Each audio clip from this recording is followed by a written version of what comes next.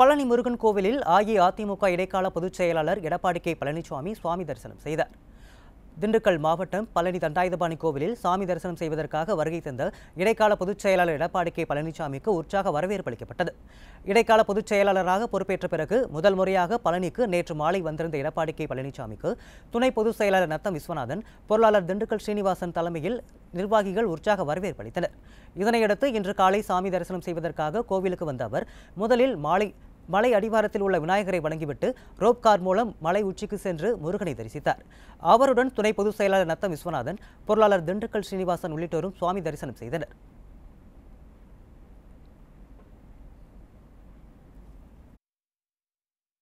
एकदन्ताय विघ्नविनाशिने शिवसुताय श्रीवरदमूर्तये नमो नमः आदिपूज्याय देवाय भा